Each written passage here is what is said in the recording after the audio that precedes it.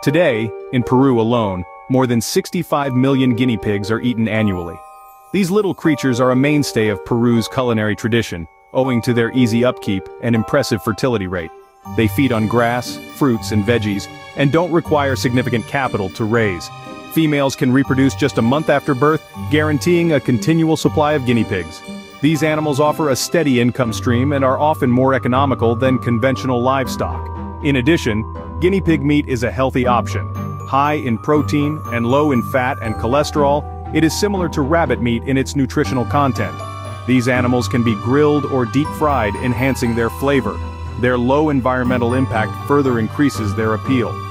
As a low-carbon meat, they offer an alternative to beef, reducing deforestation and the growth of animal feed. This sustainability aspect raises guinea pigs beyond just a food source, they are an eco-friendly option. Don't forget to subscribe.